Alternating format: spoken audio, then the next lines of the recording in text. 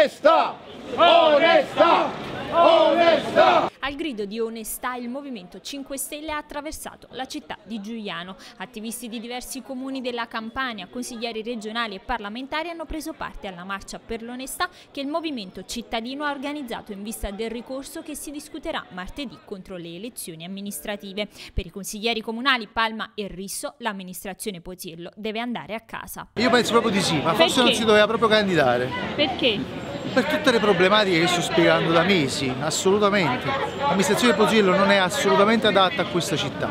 Non dico che lo siamo noi, ma sicuramente più di loro. Abbiamo la speranza che, la che giustizia sia fatta, ovviamente eh, per produrre un ricorso eh, lo abbiamo fatto con cognizione di causa e a nostro avviso ci sono eh, molte insomma, eh, sia illegalità che anche vizi di forma. Eh, ci hanno informato dal meetup che praticamente ci sono stati dei brogli elettorali e siamo vicini, siamo venuti a, a dare la nostra solidarietà agli amici di Giuliano. Che significa quest'onestà, dato che a quarto anche la Capozzo dice di aver praticato l'onestà, nonostante ciò però è stata espulsa? Quarto e Giuliano sono due cose diverse al momento. Eh, l'onestà eh, a quarto eh, riguarda appunto un ricorso fatto per, eh, per brogli elettorali, e, mentre a quarto c'è stato un altro problema che a mio parere mh, poteva essere gestito in maniera diversa, come abbiamo detto anche nei nostri comunicati. Se il ricorso però non dovesse avere esito positivo per i grillini, i due rappresentanti in consiglio comunale non si dimetteranno. No, la giustizia deve fare sempre il suo corso.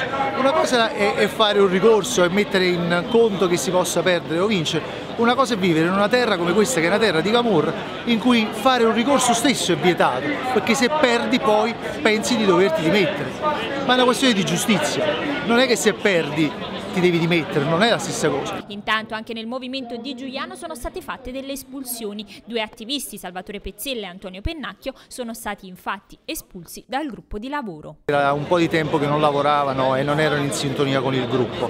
Non sono vere e proprie espulsioni, noi li aspettiamo comunque a braccia aperte nel caso dovessero cambiare idea, anche se ne dubito perché insomma è da un po' di tempo che si sente parlare sia Pezzella che dice di voler andare via, sia Antonio che comunque è rimasto un ottimo amico ma che politicamente adesso mi sembra un po' distante dal Movimento 5 Stelle. Dato che siete sicuri di vincerlo questo ricorso, siete già pronti a prossime elezioni?